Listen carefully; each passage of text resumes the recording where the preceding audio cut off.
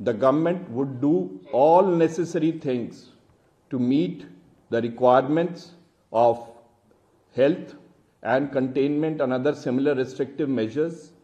Government will do all that is necessary to provide for poor and vulnerable sections.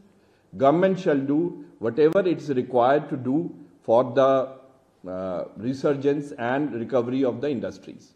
The packages three announced already the health package and uh, other recovery and uh, mitigating measures announced uh, by uh, Honorable Finance Minister uh, are along that line. Therefore, uh, our fundraising resources, not only from the market but also from the multilateral institutions, our own resources are geared towards that end.